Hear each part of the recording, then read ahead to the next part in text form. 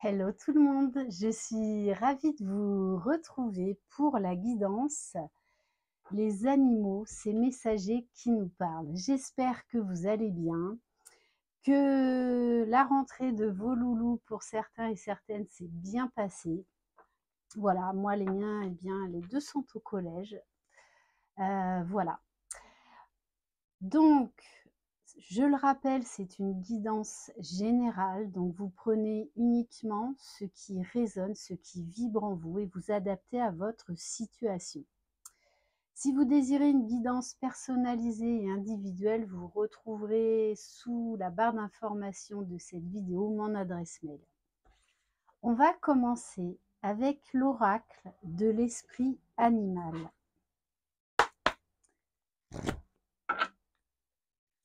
Allez, quel animal a un message pour nous?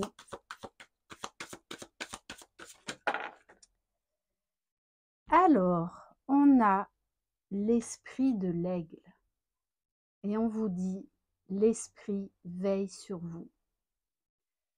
Donc très certainement, on vous invite à prendre de la hauteur, à apporter un nouveau regard, Alors, je vais vous lire le message. Donc, c'est le numéro 23. Pensez aux aigles qui volent très haut au-dessus des autres oiseaux planant dans les airs. L'esprit de l'aigle est apparu pour demander si vous êtes prêt à vous envoler vers de nouveaux sommets, même si cela signifie que vous serez confronté à la solitude pendant un court moment. Toute la sagesse du monde est à votre disposition.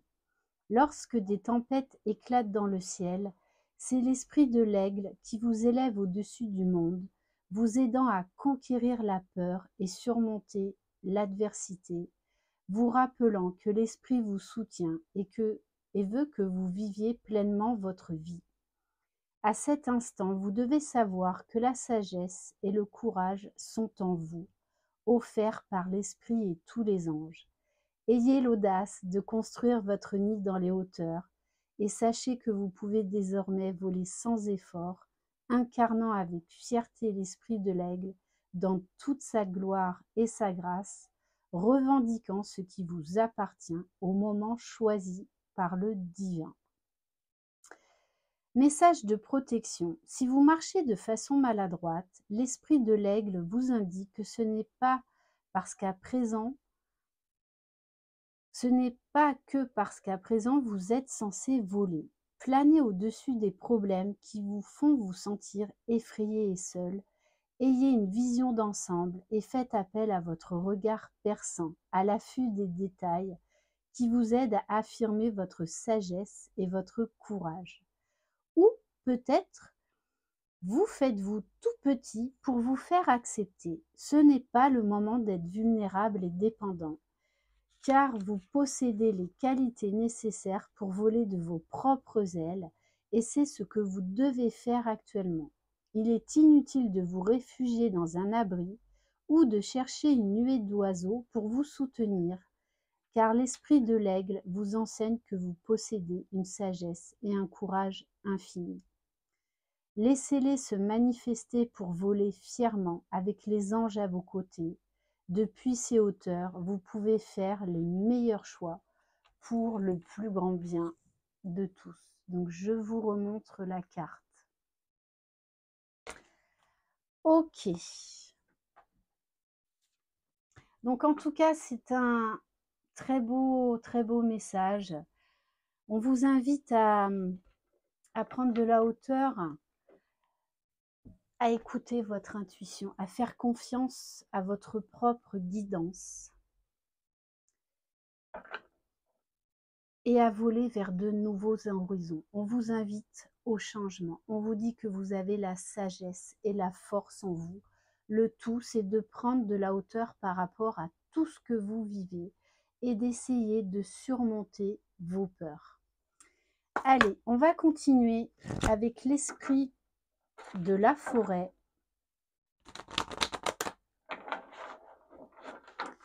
Et l'aigle est un, est un animal, un oiseau majestueux. très majestueux. On vous invite aussi à la fluidité de la vie, au changement, aux transformations, aussi bien dans votre intériorité que dans votre vie. N'en ayez pas peur.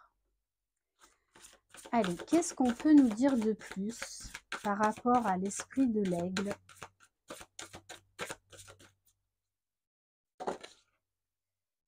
Alors, on vous parle de la solitaire, on vous parle de dévouement, d'amour-propre et de concentration.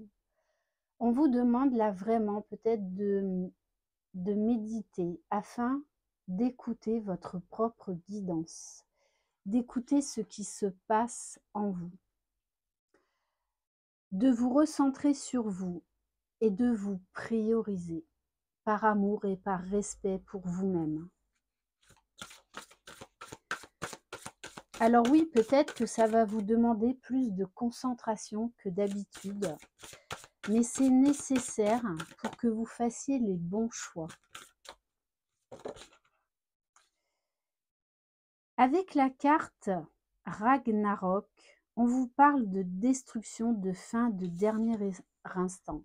Il y a quelque chose là qui est en train de se terminer. Vous êtes en train de clôturer un cycle et vous êtes prêt et prête à prendre une nouvelle destination, à prendre votre envol, à voler de vos propres ailes. C'est vraiment ce que l'on vous invite. L'aigle vous invite à oser.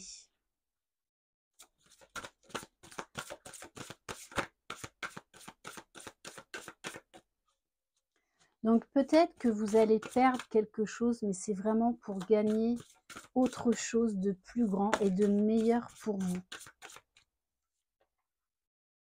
Avec la carte de la chanteuse célébrant le solstice d'hiver, on vous parle de renaissance, de festin et de joie. Ça peut nous parler également de la période de l'hiver. Oui, c'est vraiment apporter un nouveau regard. Quelque chose doit se terminer. Peut-être que vous allez sortir euh, de certains blocages, de certaines pensées, de certaines croyances limitantes. Vous allez faire tomber des barrières. Et on a la carte de la métamorphe. On vous parle de transformation, de sagesse primitive et d'instinct. On vous invite à beaucoup plus de sagesse, beaucoup plus de douceur vis-à-vis -vis de vous-même et surtout de faire confiance à votre instinct, à votre propre guidance. Pour certains, votre chakra du troisième œil euh, va être très ouvert.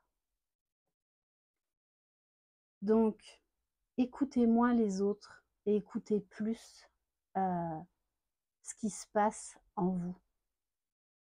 Écoutez vos désirs, vos envies.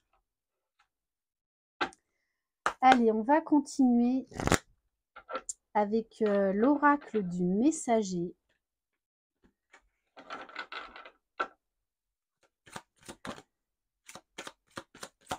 Allez, qu'est-ce qu'on peut nous dire de plus par rapport à l'esprit de l'aigle?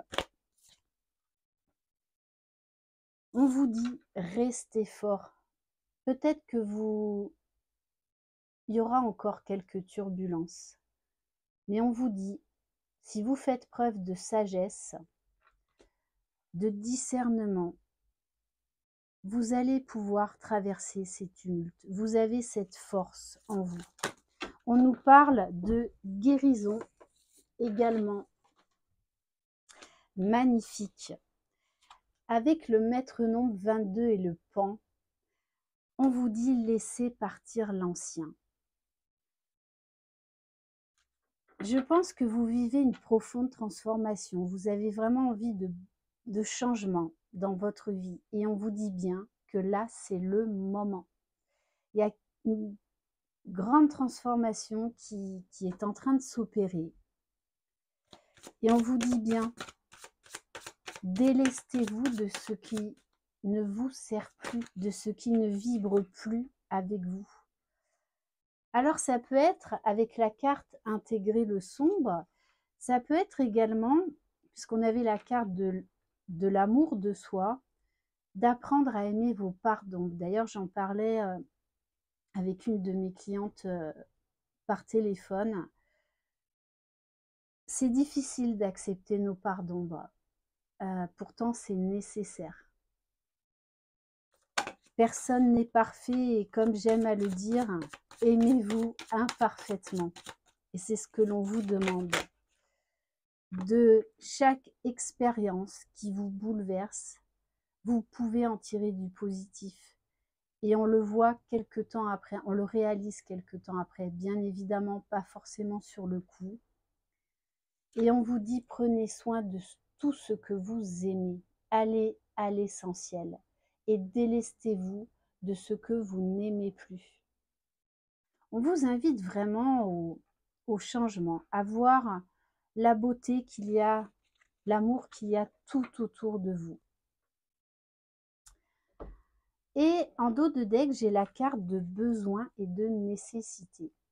Pour moi, vous allez vraiment euh, lâcher pas mal de choses. On vous parle d'équilibre, du yin et du yang, de la lune et du soleil.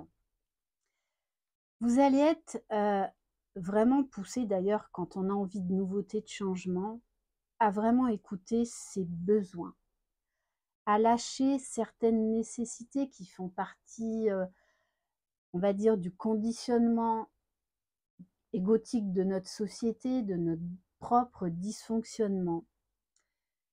Donc vous allez, lâcher certaines choses et oser vous, vous ouvrir à, à des nouvelles.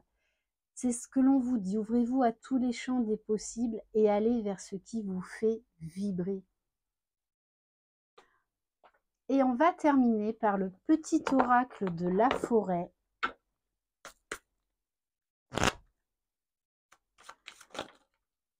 Alors, bon, j'adore. Alors, trois messages. On vous dit, premier message, de lâcher prise dans cette situation, de prendre de la hauteur, d'essayer vraiment d'apporter un nouveau regard à ce que vous vivez et d'y apporter beaucoup plus de sagesse. Comme les saisons qui passent, certaines choses sont immuables, apprenez à accepter ce que vous ne pouvez changer. On vous parle de phase d'apprentissage. Apprendre. Prenez exemple sur les hiboux.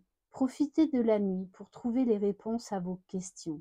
Ne dit-on pas que la nuit porte conseil? Prêtez attention à vos rêves durant les jours à venir parce que euh, vous pourriez avoir des messages très révélateurs pour vous guider, puisque l'on vous dit bien que vous êtes guidé, que vous êtes protégé. Soyez une source d'inspiration pour les autres et laissez la nature devenir votre meilleur professeur. Voilà pour cette guidance. J'espère que vous aurez reçu des messages et que cela pourra vous aider à avancer dans votre vie. Je vous embrasse, croyez en vous, vous êtes les magiciens de votre vie. Bye bye